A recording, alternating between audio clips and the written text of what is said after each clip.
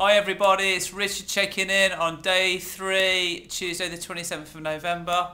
This morning I had a gentleman ring me up, uh, wants me to do a boot camp in his leisure centre. Um, so that sounds interesting, need to go for a meeting.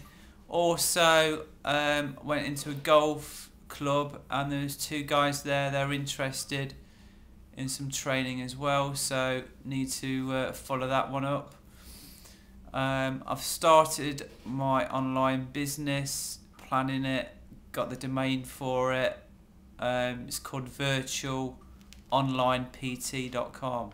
So it's going global, folks. Hopefully, it'll all be there, um, ready, set up in 21 days. Okay. Hope everybody's had a good day. See you tomorrow for day four.